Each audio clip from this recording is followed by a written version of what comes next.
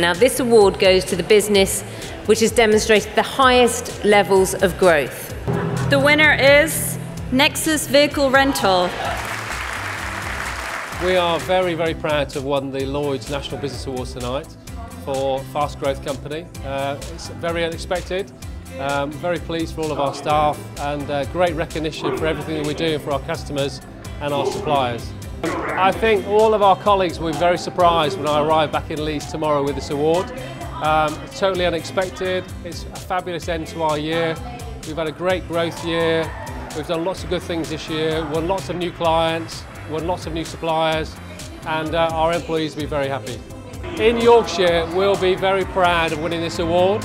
Clearly coming down to London tonight, there are hundreds of good businesses in this award ceremony and for Nexus Vehicle Rental to win this top award is fantastic. I think tonight at the Lloyds National Business Awards, and what I've learned is that any company can be successful. We're a small business in Yorkshire, we're doing some very good things and companies like ours should feel confident enough to enjoy and enter an award ceremony like this because they can win.